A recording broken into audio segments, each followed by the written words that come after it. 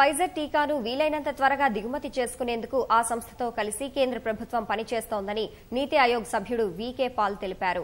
టీకా సరఫరాపై ఫైజర్ సమాచారం అందించిన వెంటనే ఈ దిశగా చర్యలు చేపట్టినట్లు వెల్లడించారు.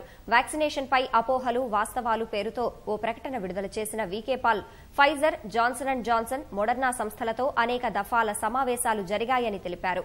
భారత్కు వారి వ్యాక్సిన్ల సరఫరా దేశీయంగా తయారీకి కేంద్రం అన్ని విధాల సహాయం అందిస్తుందని వెల్లడించారు.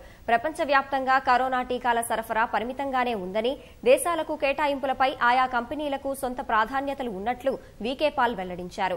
దేశంలో కోవిడ్ నైన్టీన్ టీకా కార్యక్రమంపై అనేక అపోహలు వస్తున్నాయని ఇవి తప్పుడు ప్రకటనలు అర్ధ సత్యాలు అబద్దాలకు దారి తీస్తున్నాయని ఆయన ఆవేదన వ్యక్తం చేశారు.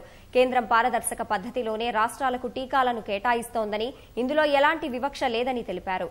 పన్నెండేళ్ళలోపు పిల్లల కోసం టీకా కొనుగోలు చేయాలన్న ఢిల్లీ సీఎం అరవింద్ కేజ్రీవాల్ సూచనపై స్పందించిన వీకే పాల్ ప్రపంచంలోని ఏ దేశం కూడా ప్రస్తుతం పద్దెనిమిదేళ్ళలోపు పిల్లలకు కరోనా వ్యాక్సిన్ ఇవ్వడం లేదని స్పష్టం చేశారు.